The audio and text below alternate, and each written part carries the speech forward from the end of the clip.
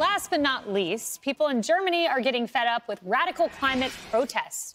This woman is going viral after she pulled one activist off the road. Get this, look at that, by her hair. Ew.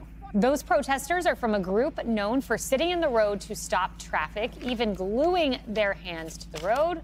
Who would do that? They did.